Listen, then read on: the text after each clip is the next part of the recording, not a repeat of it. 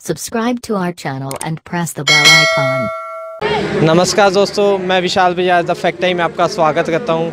आज हम डायरेक्ट लोगों से एक सवाल लेके पहुँचे हैं डायरेक्ट लोगों से बातचीत कर रहे हैं। क्या वाकई में बाबा राम रहीम जी एक सच्चे समाज सुधारक हैं? क्या वाकई में उन्होंने समाज को सुधारा है? लोगों से चर्चा करते हैं। सर आपका नाम? प्रीतम सिंह इंसा।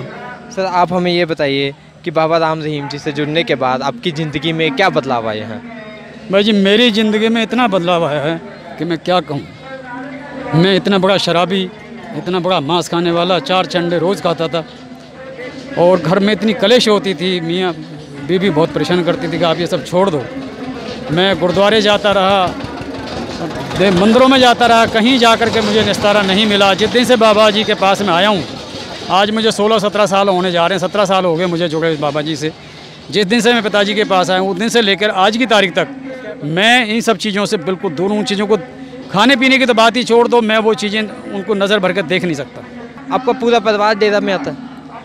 मेरे परिवार में सिख फैमिली है मेरी और मेरे परिवार में दो बेटियाँ हैं नाम ले रखा है एक बेटा है और एक वाइफ है।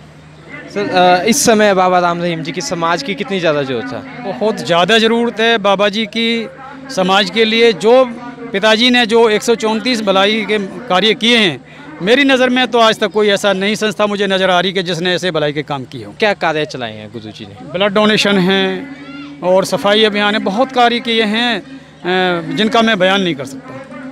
आ, आ, अंत में आप हमारे माध्यम से नई सरकार से क्या अपील करना चाहेंगे?